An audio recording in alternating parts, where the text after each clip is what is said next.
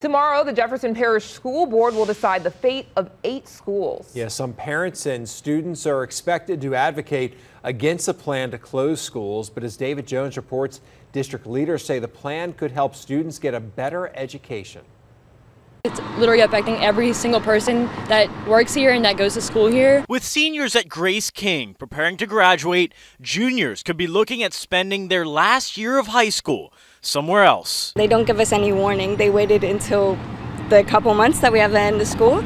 Under a plan proposed by consultants for the JP School Board, Grace King students will be split between Bonnabel and Riverdale, and Haynes Academy students would move onto the Grace King campus.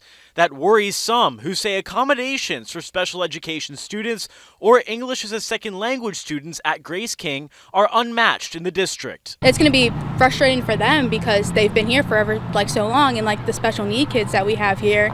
Like we have a teacher that knows sign language and stuff for them, and we don't know if they're going to have the resources at Bonnabel or Riverdale for them. A lot of our families are not like the families at Haynes. A lot of our families are struggling financially. Facing declining public school enrollment and short around 140 teachers, the district will be voting on a plan to close eight schools in total and build two new schools. If you have fewer classrooms, okay, then you will have more teachers available to spread out to those places where you have vacancies. School Board President Ralph Brandt says the plan would give the district flexibility and allow for a steady decline in the number of substitutes they have to turn to. We're not saying that the class sizes are getting bigger.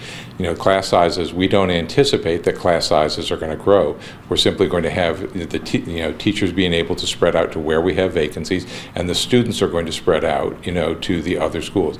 We will be able to maintain, uh, we should be able to maintain the same uh, pupil-teacher ratio that we currently have or maybe even improve it. I think it's going to alleviate a lot of uh, a lot of pain there because when I toured some of my schools in my district, there's substitutes there. These kids are not getting the right education that they that they should get. Brandt and School Board member Michael Pedalino say the district would have the ability to implement and improve enrichment programs, things like arts, music, athletics, while saving money on the upkeep of aging buildings. I've been studying the plan. I don't know that there is significant, you know, um, compromise points on there. I think the plan as a whole um, you know, has some very, you know, sound merit. I think that they really need to reconsider, and I think they need to take in how it affects everyone in this community, not just the, themselves and their financial intake.